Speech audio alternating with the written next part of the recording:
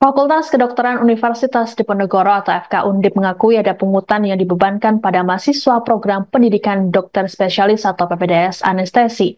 Iuran tersebut berkisar 20 juta rupiah hingga 40 juta rupiah per bulan yang dibayarkan tiap mahasiswa. Adapun tiap ting angkatan PPDS anestesi Undip ada sebanyak 7 hingga 15 mahasiswa.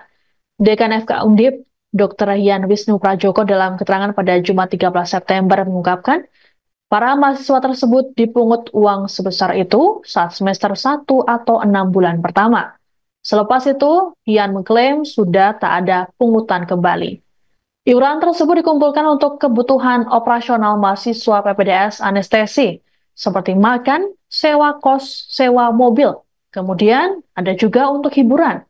Yan menyadari adanya pungutan tersebut sehingga pada 25 Maret 2024, dirinya mengeluarkan surat edaran yang membatasi penarikan iuran.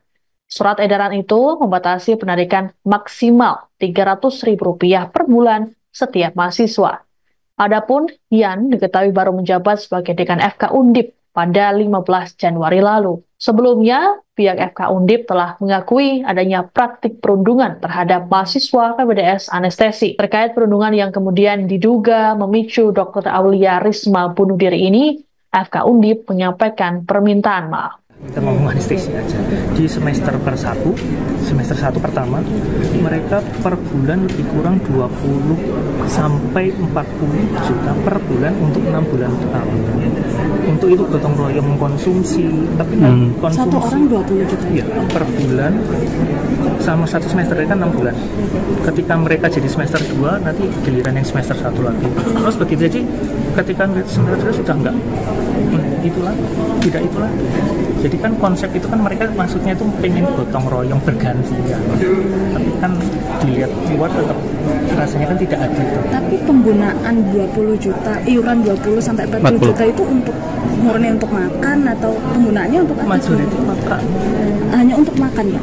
Hampir 20 dua per tiganya. Kan mereka tadi sampai bapak ibu tahu kan mereka sangat loading kerjanya berat kan kita makan tiga kali. Tolong diklarifikasi di rumah sakit berapa. Monggo.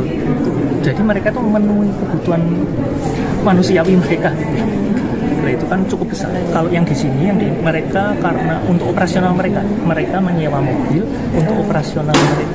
Mereka menyewa kos untuk mereka yang dekat dengan karya di rumah sakit supaya mereka dekat selalu terkait dengan operasi lah kita ngomong anestesi aja.